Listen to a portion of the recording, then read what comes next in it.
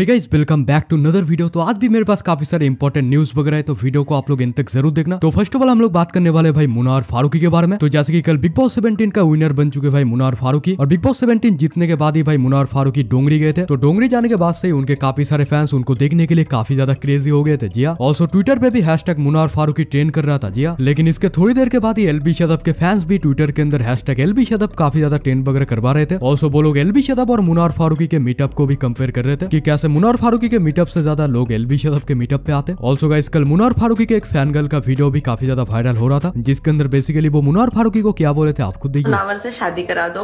वो to timings क्या, वो फाइव टाइमिंग्स भी करेगा तो भी मुझे एक्सेप्ट है। उसका बच्चा, उसके घर वाले उसके सब कुछ, मैं सबका ख्याल रख लूँगी। बस मुनावर मेरे पास होना चाहिए। प्लीज़ कोई मुझे मुनावर दिला दो। प्लीज़ कोई है जो इससे कहा गया मेरा बेबी इससे।